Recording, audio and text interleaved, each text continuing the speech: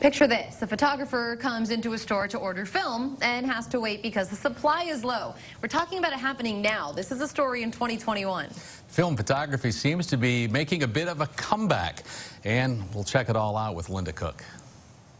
Film photography is such a popular hobby among young Quad Cityans, as well as longtime film buffs, that Camera Corner in Davenport has trouble keeping film on hand.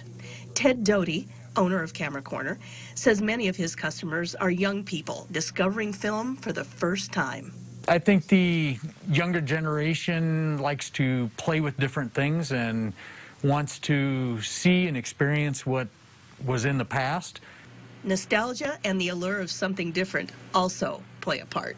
It's mechanical, it's, it's something that they can put their hands on and, and actually play with, and it's not uh, a digital aspect. You know, it's not the phone, it's not uh, a computer, it's, it's hard, it's metally, it's, it's, it's physical. With the technology new to them, some young photographers are looking into the past. They like to replicate and try to give the uh, illusion of, of days past, you know, back in the 1900s where you kind of had that uh, rough kind of look of photography. It wasn't crisp, it wasn't clean, it wasn't perfect, it was real. When they're not taking a view of the past, they're looking into what's new around them currently. The I-74 bridge is, has been an, an iconic one that we've seen. People are photographing it with film of the bridge to kind of, I think, show the new process coming through. The surprises are also delightful for customers who bring their projectors and cameras to Eric A. Pohl at United Camera Repair in Rock Island.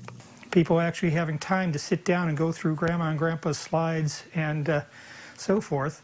A lot of these projectors have failures because of age. They have nothing to do with how they're taken care of. The plastics they used become brittle.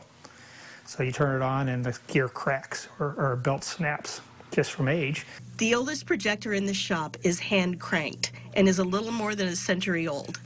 He rebuilt it when it arrived in pieces in a box. Regardless of their vintage, Pohl fixes cameras and projectors that continue to link to both the past and a modern day trend in the Quad Cities.